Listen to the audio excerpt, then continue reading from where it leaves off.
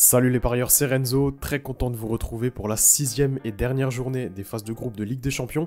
J'ai 8 pronostics à vous proposer sur les plus belles affiches de mardi et de mercredi. Avant qu'on démarre, je vous rappelle que j'ai sorti une formation sur les paris sportifs.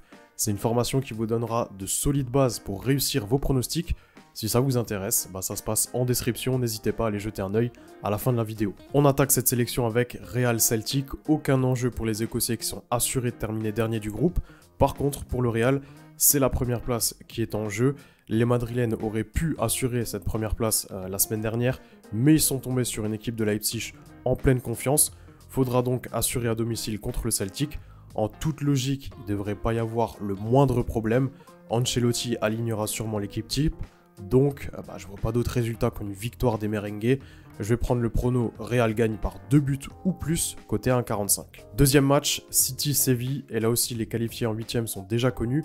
Manchester terminera premier quoi qu'il arrive, Dortmund sera deuxième, et les Sévillans iront en Europa League.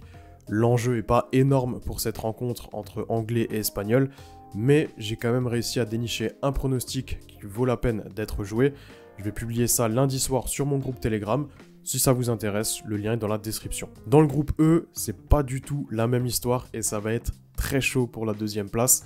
Le Milan reçoit Salzbourg qui a seulement un point de retard et qui pourrait passer deuxième en cas de victoire à San Siro. C'est clairement pas impossible, euh, les Autrichiens ils ont les armes pour créer la surprise. Mais bon, honnêtement, ce serait quand même euh, surprenant de voir le Milan plonger, sachant qu'un nul peut leur suffire. La dynamique des Milanais, elle est quand même bonne depuis le début de la saison.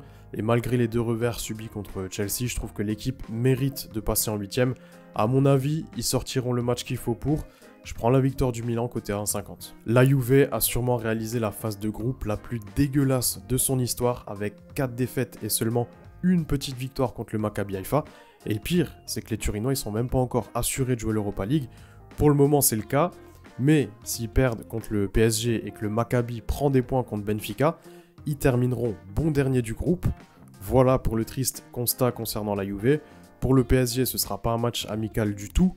Il leur faut une victoire pour terminer en tête du groupe et on connaît l'importance de finir premier pour éviter de se taper un gros en huitième.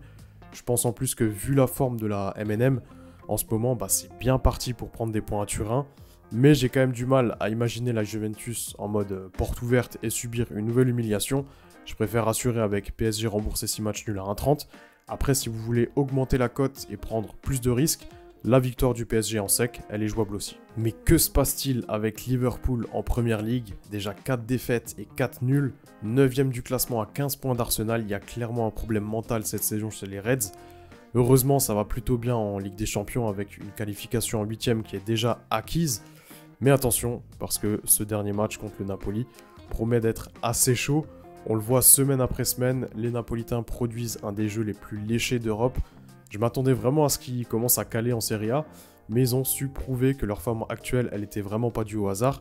Et quand une équipe comme ça commence à lancer une série d'invincibilité, comme ils sont en train de le faire, elle développe une genre de haine de la défaite qui les pousse à se surpasser à chaque match. Liverpool doit l'emporter par 3 buts d'écart pour prendre la première place.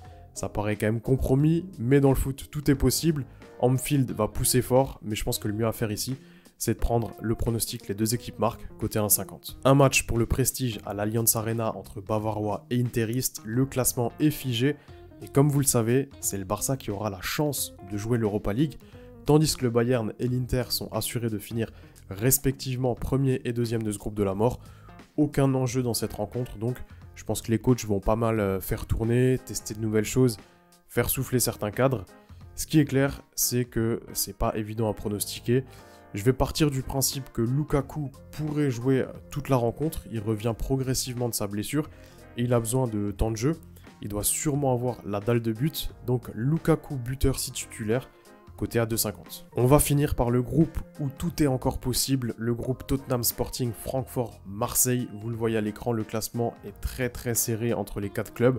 On a Tottenham en tête qui peut se contenter d'un nul contre l'OM pour passer, mais sinon les trois autres équipes sont quasiment obligées de gagner pour espérer aller en 8 Sporting Francfort donc, victoire 3-0 des Portugais au match aller, mais entre-temps la dynamique euh, des deux clubs elle s'est un peu inversée.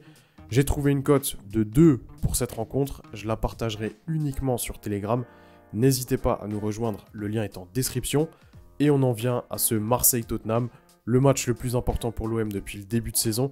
Il faut dire qu'il tombe plutôt au mauvais moment, sachant que les Olympiens n'ont plus gagné depuis 4 matchs. Nul contre Strasbourg ce week-end, défaite à Francfort, défaite contre Lens et le PSG. Alors certes, les adversaires n'étaient pas ridicules, mais mentalement, va falloir faire le vide pour sortir une grosse presta au Vélodrome. La chance qu'ils ont, c'est que Tottenham, ils sont loin d'être sereins en ce moment. C'est très irrégulier et je me demande comment Conte va aborder cette rencontre. Est-ce qu'il va jouer la gagne ou plutôt tenter un match défensif pour assurer le nul? J'opterai plutôt pour la deuxième option. Marseille va devoir faire le jeu et se livrer pour espérer prendre les 3 points. J'imagine pas un match euh, très ouvert, il y aura beaucoup de calculs. Et je pense que le moins de 3,5 buts côté 1,35 a ses chances de passer. Parmi ces 8 pronostics, j'en ai sélectionné 3 pour tenter un combiné côté à 3,40. Je le publierai sur Telegram lundi soir. Et si vous voulez parier sans prendre de risque, je vous laisse mon code promo SM100 qui vous permet d'avoir votre premier pari remboursé jusqu'à 100 euros sur le site TheBet. N'hésitez pas à me dire ce que vous en pensez dans les commentaires si vous êtes d'accord avec moi. En tout cas, je vous souhaite deux très belles soirées foot et je vous dis à la prochaine. Ciao ciao